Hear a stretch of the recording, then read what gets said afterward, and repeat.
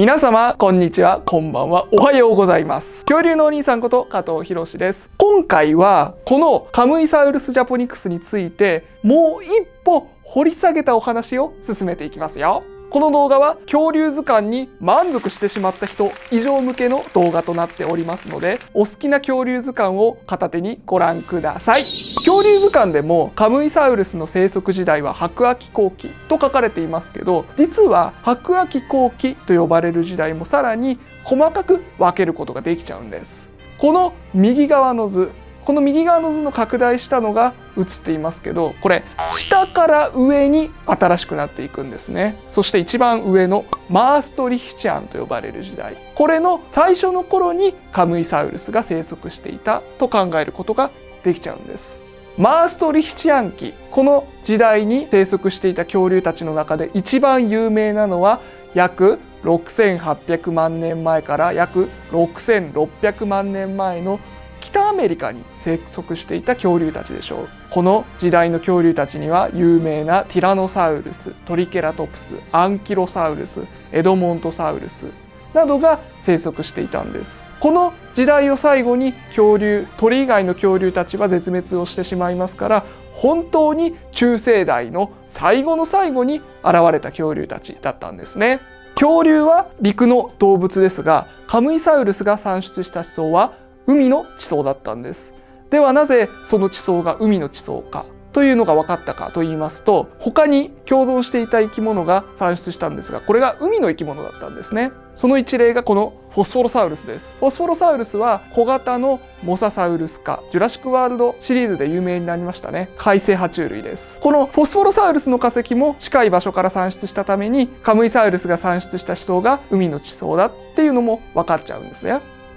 このカムイサウルスやフォスフォロサウルスのように産出した地層の構造や堆積物や他の生き物の化石を調べてあげるとその地層の構造がどんなだったかも分かっちゃうんです。そして地層から産出する化石を調べてあげることでその当時の環境まで調べることもできちゃうんです。なのでカムイサウルスは海沿いに生きていた恐竜と考えられているんです。ちなみに他に海沿いで生活していたと考えられるハドロサウルス科の恐竜はアウグスティノロフスという恐竜が代表で取り上げられています。こちらの復元が上の方はカムイサウルスが海沿いで生息していた時の復元画ですそして下は今回化石で見つかったカムイサウルスが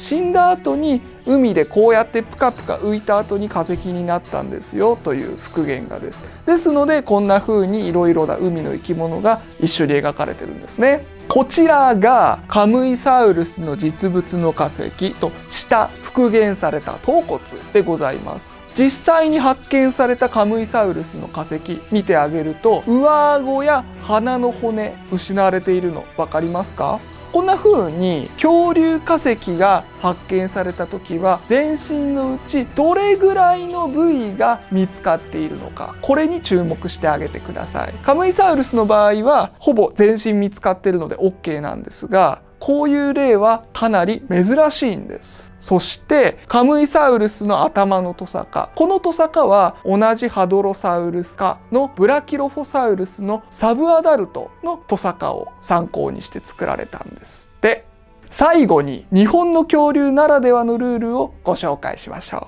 う。日本のテレビや新聞で何々流向川流とか丹波流よく紹介されますよね。実はこの何々流っていうのはニックネームなんです。日本の恐竜何々流っていうのはまだ学名がついていない段階の呼び名としてよく使われたりしますよね。そしてカムイサウルスだったりタンバティタニウス。だったりが学名なんです。この学名は全世界共通の名前と覚えてみてください。実はムカワ竜からカムイサウルスに変わったのは恐竜博2019という恐竜博の展示中にカムイサウルスが命名された論文が発表されたからなんですね。展示中に学名が決まって命名されたために展示もムカワ竜からカムイサウルスに変わったというわけなんですね。ずっととムカワ竜と呼ばれていたこの恐竜はカムイサウルスと呼ばれるようになりました。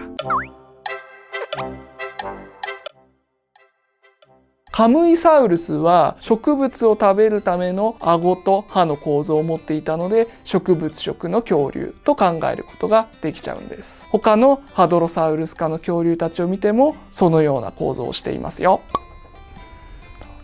クネームというニックネームというくくりでくくっちゃうとティラノサウルスのスーだったりスタンだったり名前みたいなニックネームがよく付けられますね。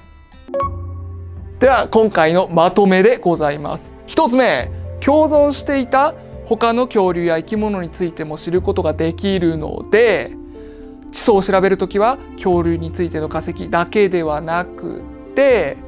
他の生き物の化石や地層が堆積した当時の環境についても考えましょう。2つ目恐竜の体を調べるときは全身のうちどれくらいの箇所が発見されているかをチェックしましょう。3つ目何々竜が日本だけのニックネーム。世界共通の名前が学名。この3つでしたね。最後までご視聴いただきありがとうございました。カムイサウルスの一歩掘り下げたお話。私と調べてみていかがでしたでしょうか？この動画が面白いと思いましたら高評価とチャンネル登録をお願いいたします。次回もまた恐竜たちの世界一緒に調べていきましょう。それでは。